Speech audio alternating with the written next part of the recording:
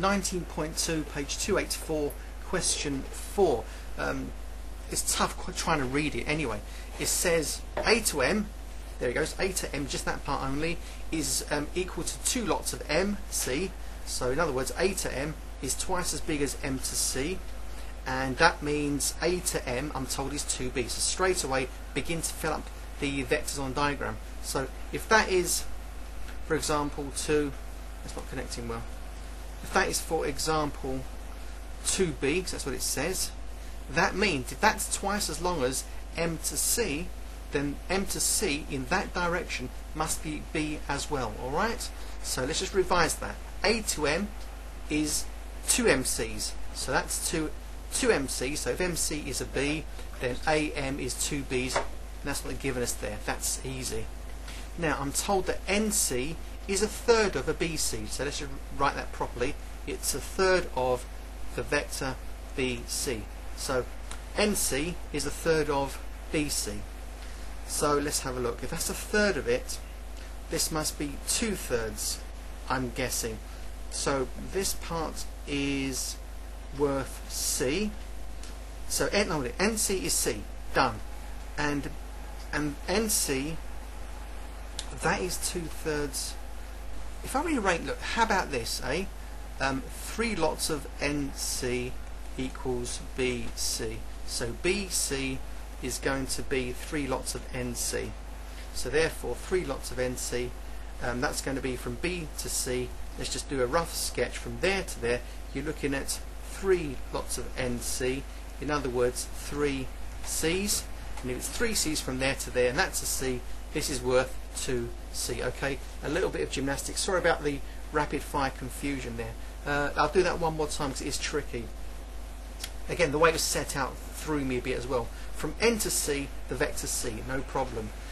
But BC is only a third of a C. So BC, the whole thing, is a third of a C. Therefore, the whole BC must be three lots of C. And therefore, B to N alone must be 2C. So what have I got?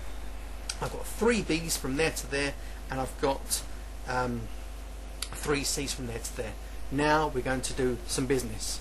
Here we go uh, find nm in terms of B and C, n to m. So let's just draw it in quickly. n to m. Oh, it's not very good, so I dropped it.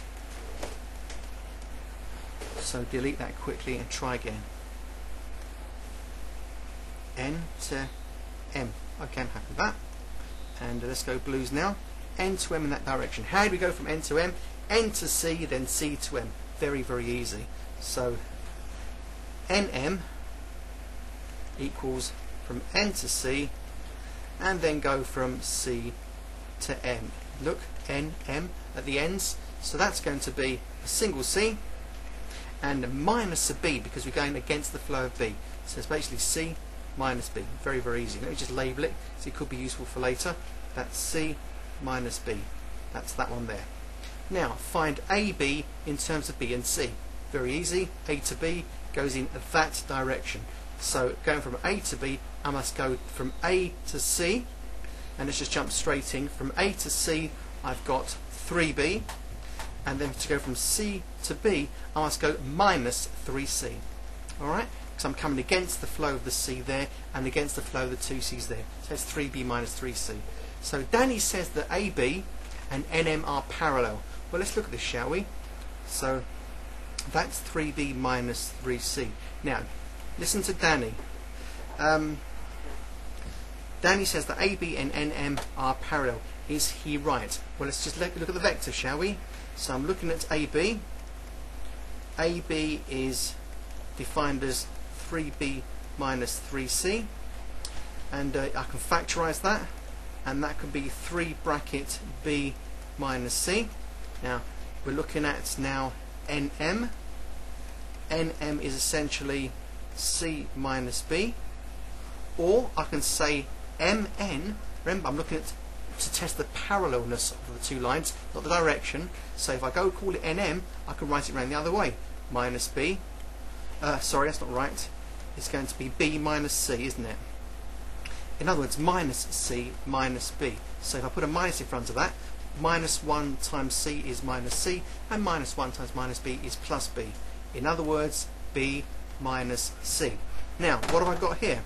I have got three lots of b minus c for vector ab, and b minus c for vector mn. So let's have a conclusion.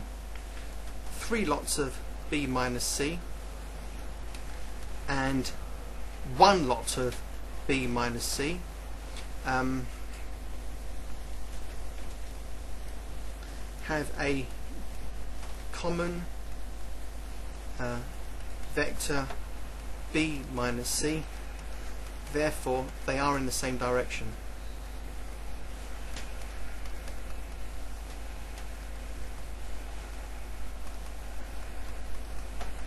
and hence parallel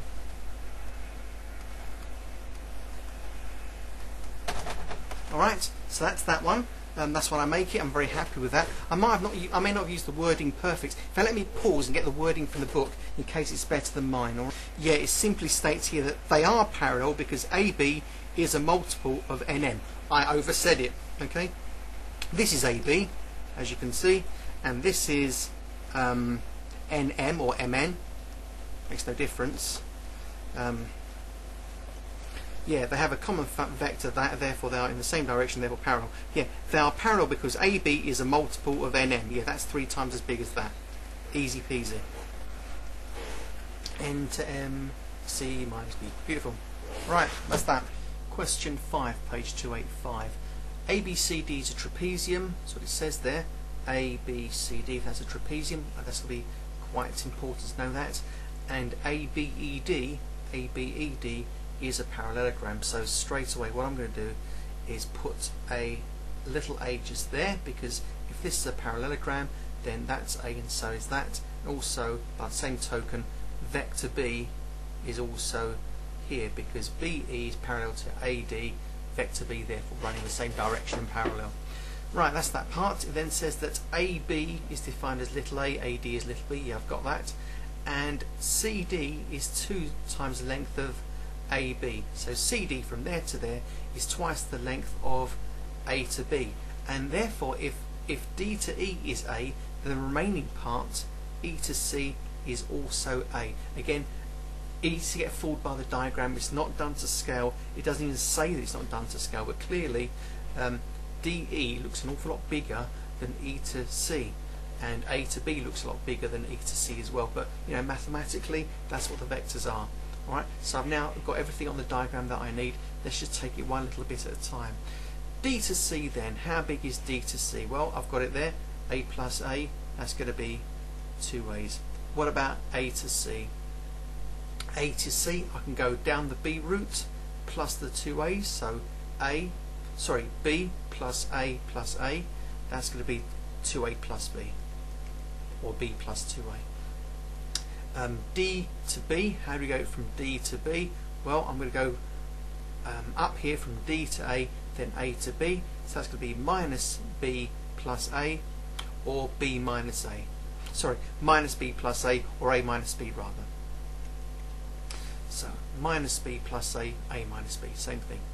And B to E, we know is just um, little vector B anyway, because it's parallel to AD. I'm told it's a parallelogram, so that's where I'm getting that from. A to E. Very easy. How do you get from A to E direct? Let's just draw it in anyway. A to E in that direction as so. How do we do that? Well, A to B, then B to E. Therefore, the answer is A plus B. Very, very easy. And what about E to C? Well, I've done that before when I realised, of course, that DE and EC are the same vector. So that's little vector A from before and finally vector BC. Um, BC, BC, BC, BC, BC. B to C, I can go B plus A. Okay, from B to C, in that direction, that's going to be B plus A, or A plus B. So I'm going to write down here A plus B, and uh, that's fine. It says here, prove that ABCE is a parallelogram. Alright then, I've got A to B is vector A, so that matches that one, doesn't it? So that matches that. got one pair of parallel sides. Now what about this what about this BC and AE business? Well look at AE. There it is. AE and I will label it now is clearly is clearly also A plus B. Look at that. Um, B plus A, A plus B makes no difference. And therefore, I use a different colour to make it stand out. This A plus B matches that A plus B. I've got two pairs of parallel sides and therefore it's a parallelogram. But I've got to write it out fully as if I was in an exam, so let's just do it quickly. Um, right, I can say AB equals um, EC AB in that direction equals EC in that direction and they're both equal to vector A. Therefore parallel. Next bit. Um, I can say that BC is exactly the same as AE and they're, and they're both vector A plus B therefore they are parallel. So if I've got two pairs of parallel lines therefore I've got um, A, B, C, E is a parallelogram. Mm-hmm. I think that's right. Yeah not only are they parallel they're also the same vector as well. Therefore they are of the same magnitude. So same length same magnitude same direction therefore parallel. Let's just do C now. Hope it fits there nicely. I'm told that AC crosses the line BE at a certain point called F. Alright then let's just draw it in. Could be tricky. Change colour as well. Um, let's do a black one. So AC um, crosses BE at a point called F. So let's just label that point F. So that is F right there right where my arrow is and I've got to work out AF alright then let's just do AF back to blue.